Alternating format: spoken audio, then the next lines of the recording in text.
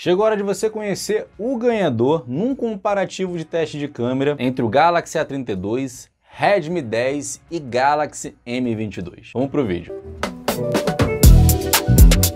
Antes de começar aqui o teste, eu tenho que te passar algumas informações importantes. A primeira dela que todas as imagens, a análise que vai ser feita é somente baseada na minha opinião. Tirei aqui as fotos, gravei também os vídeos e vou trazer análise naquilo em que eu vi e achei. Você pode concordar ou discordar, mas as imagens estarão aparecendo aí para você e você tira as suas próprias conclusões. Uma outra coisa é que as câmeras de cada celular são trabalhadas de formas diferentes e o Redmi 10 traz uma resolução diferente do Galaxy M22 e do Galaxy A32 5G. Então você vai perceber que o tamanho da imagem vai estar um pouco menor do que a dos outros dois celulares, mesmo que a foto tenha tirado na mesma distância, no mesmo tempo e na mesma altura isso acaba acontecendo. Informações dadas, vamos começar então nos testes na câmera principal traseira no ambiente de dia. E, na minha opinião, o Galaxy A32 5G foi o que trouxe a melhor imagem. Perceba que ela está mais natural,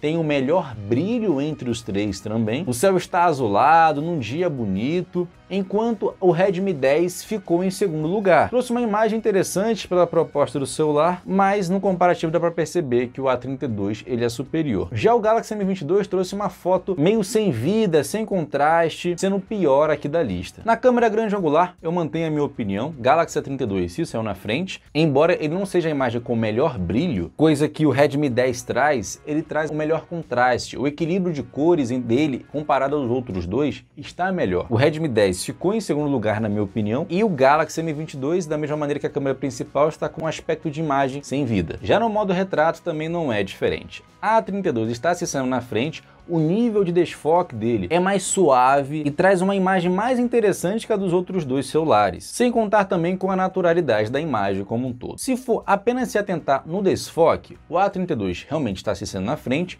mas os três celulares têm uma proposta legal. Ele consegue se interpretar a diferença entre o que é o ambiente e o que é o meu corpo, que no caso não é para ser desfocado nesta imagem. Só que o Galaxy M22 entre os três está trazendo uma foto com menor naturalidade e o Redmi 10 está trazendo um céu muito estourado. Já na câmera macro eu achei que o Galaxy M22 foi o que trouxe a melhor imagem, embora o Galaxy A32 tenha 5 megapixels na câmera macro e o Galaxy M22 somente 2 megapixels, na minha opinião, ele trouxe uma imagem com melhor contraste comparado aos outros dois. E enquanto você decide qual dos três traz as melhores imagens das câmeras, eu te recomendo fazer o seguinte, se inscrever no canal e deixar o sininho ativado de notificações, que assim você não perde nenhum novo conteúdo que eu trazer, nenhum comparativo, uma análise inteligente, para você assim conseguir fazer uma compra inteligente. Agora vamos dar uma olhada na câmera frontal, essa que você usa para tirar selfie para as redes sociais, quem se sai melhor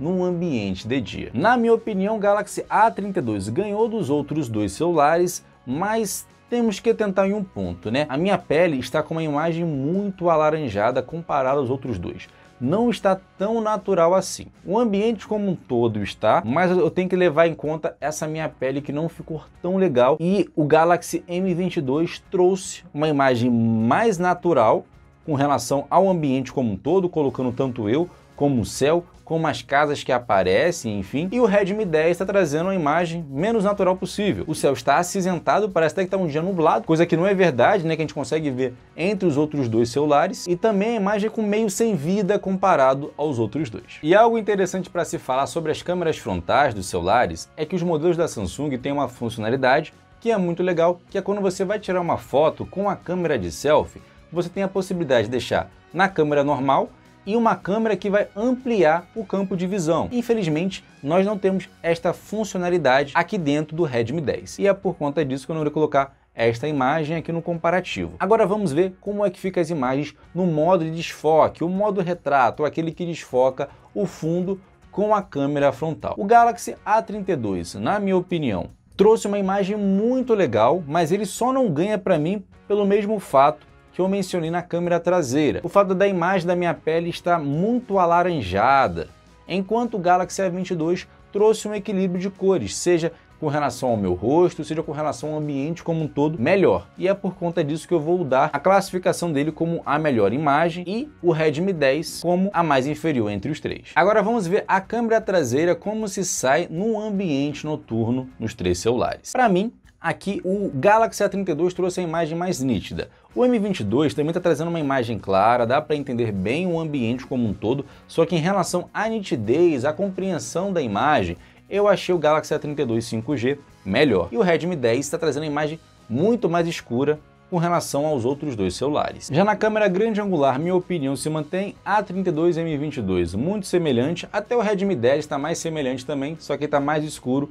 do que os outros dois e o Galaxy M22 está trazendo a imagem mais clara, só que é difícil, porque o Galaxy A32 ele traz uma imagem um pouco mais nítida. Então no final, eu vou dar o A32 como o melhor entre os três. Agora vamos ver como é que fica as imagens na câmera traseira com o modo noturno ativado. O modo noturno é uma função que temos nos três celulares que ajuda quando você tira uma foto em um ambiente à noite com pouca luminosidade, que o celular ele processe aquela imagem e traga uma imagem com melhor brilho, fazendo com que você consiga interpretar melhor o ambiente como um todo. O Galaxy A32 está trazendo uma imagem com maior claridade, Porém, em relação à naturalidade, eu achei que o equilíbrio de cores no Galaxy M22 ficou melhor, porque a câmera no Galaxy A32 está tudo muito branco, embora a nitidez em si esteja um pouco melhor. O Redmi 10, mesmo com o modo noturno, embora sim tenha melhorado a imagem, a imagem ainda está muito acinzentada e com uma qualidade menor do que os outros dois celulares. Na câmera grande angular, nós não temos a possibilidade de ativar o modo noturno no Redmi 10. Por conta disso, não vou colocar o comparativo entre os três. Já na câmera frontal, eu já achei aqui que o Galaxy A32 5G está se sendo na frente, uma imagem com maior nitidez, com maior brilho, comparado aos outros dois e o Redmi 10, ele traz uma imagem com bom brilho também, só que a imagem está meio borrada, com uma qualidade bem inferior do que os outros dois. E o Galaxy M22 está aí no meio termo dos celulares. E já que você chegou no vídeo até aqui, eu queria te fazer um convite para você nos seguir também lá no Instagram, arroba a compra aprovada. Lá eu trago um conteúdo exclusivo interessante que eu tenho certeza que você vai gostar, então também tem links aí na descrição. Agora vamos ver os vídeos na câmera traseira principal como é que se sai. O Galaxy A32, na minha opinião, trouxe um vídeo mais limpo, embora que o Galaxy M22 esteja bem próximo à qualidade. O Redmi 10 traz um vídeo mais sem vida, com menor contraste comparado aos outros dois. Na câmera grande angular, eu também mantenho a minha opinião, Galaxy A32 um pouco melhor, Galaxy M22 bem semelhante, Redmi 10 com uma imagem inferior, e é interessante falar, né? Tanto na câmera principal como aqui na câmera grande angular, que o Redmi 10 não tem a funcionalidade de estabilização de vídeo, que é uma funcionalidade que ajuda o celular, mesmo quando você acaba mexendo um pouco a mão, que é, o vídeo não fique tão trêmulo, que você pode perceber que o vídeo no Redmi 10 está mais mexido do que nos outros dois celulares. Embora eu esteja me movimentando involuntariamente enquanto estou caminhando, você não consegue perceber tanta diferença de movimento no Galaxy M22 e no Galaxy A32 comparado ao Redmi 10 que não tem esta função. Já na câmera principal à noite, o Galaxy A32 está trazendo um vídeo com maior brilho, maior nitidez também, Galaxy M22 ficando em segundo e o Redmi 10 ficando em último disparado, né? Dá para ver que a qualidade está bem inferior comparado aos outros dois. Na câmera grande angular, eu também mantenho a minha opinião, mas uma coisa tem que ser dita, né? Infelizmente, com qual celular você vai gravar um vídeo, todos eles não vão trazer grande coisa num ambiente com pouca luminosidade. Então eu sempre oriento a você para não ficar talvez chateado quando você for gravar um vídeo, grave num lugar que mesmo sendo à noite esteja com bastante luminosidade para assim você conseguir enxergar, entender o que você está gravando. Já na câmera de selfie de dia, o Galaxy A32 também se sai na frente, traz um vídeo mais limpo, com melhor clareza, dá para enxergar melhor detalhes do meu rosto comparado aos outros dois celulares, embora o Galaxy M22 esteja muito próximo, um pouquinho inferior. Redmi 10 traz um vídeo legal, mas entre os três também é o celular que traz a pior qualidade entre os três. Já na câmera frontal à noite não tem nem o que falar, né? o Redmi 10 está em último lugar em disparado, o vídeo meio borrado, não dá para enxergar as coisas direito. O A32 2022 com um vídeo mais limpo, só que o A32 com melhor clareza, maior brilho do que o Galaxy M22. O que, que você achou deste comparativo? Algum destes celulares te surpreendeu para melhor ou para pior? Você achou que talvez o Redmi 10 ganharia do Galaxy M22, o Galaxy M22 ganharia do Galaxy A32? Comenta aí para mim, eu quero saber a sua opinião sobre este comparativo, como ficou a sua análise no final. Bem, eu espero que você tenha gostado desse vídeo. Se gostou, não esquece, vai, deixa aí o seu like, esse vídeo dá trabalho, mas eu sempre fico motivado quando eu vejo a sua participação aqui no canal.